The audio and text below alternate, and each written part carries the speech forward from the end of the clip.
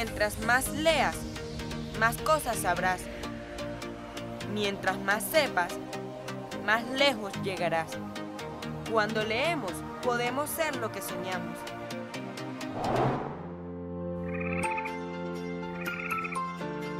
Julio Verne, De la Tierra a la Luna, novela de ciencia ficción. Publicada por primera vez en 1865. Este libro se trata de enviar a la Luna un proyectil que hará la función de una auténtica nave espacial, atravesar el espacio y descubrir un mundo lunar. Leer es soñar.